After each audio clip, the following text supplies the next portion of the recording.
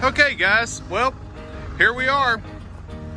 It's Saturday afternoon, and I cannot believe between Thursday, Friday, and today how much progress we have made on this fence project. So, uh, you know, yesterday we posted a video on setting the T or setting the post. Uh, the welder actually had an opening in his schedule. He came on out today and showed up and he welded all of the pipe.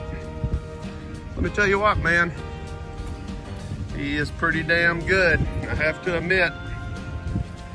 I wish I could weld that good. So anyway, so that's gonna be the corner going down that direction. You come over here, since this is only like a 17 or 18 foot span, we used a cattle panel uh, to actually uh, just work that. If you notice down at the bottom, he used sucker rod.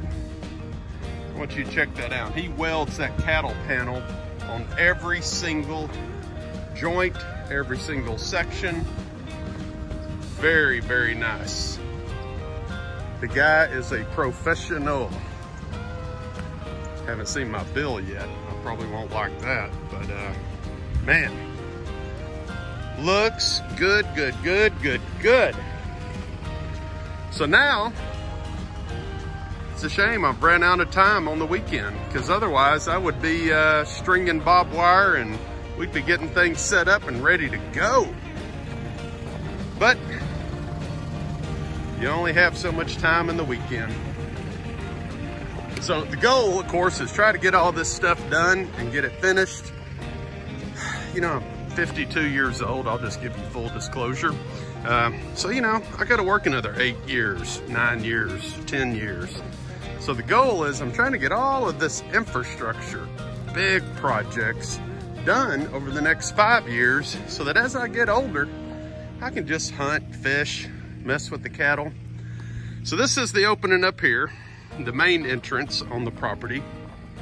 You can see we did the same type of design that we did down on the other end. Wow. Looks good. Looks really good. It matches the one on that side. Once again, you come back. We're gonna have a 25 foot recessed entrance. Sweet. Sweet, sweet, sweet. I like it. I like it a lot. All right, guys. Major, major progress for a three day period. If you look at it, we carried cattle to Gainesville. We, uh, so that meant we had to get them up, sort them, trap them, drive an hour and a half each direction. Came back, immediately hooked the auger up, started drilling holes. We set our post, changed over, started driving T-post, set our wood post, uh, called the welder. He came out today and did the welding.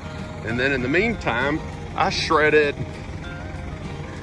oh, I'm guessing I shredded 60 acres this weekend with the New Holland 5060 and the John Deere HX15 shredder. What a beast. Man, that thing just performed flawlessly. Very pleased with both of them. Uh, just what a great weekend. So, hey, glory be to God, but man, this looks good.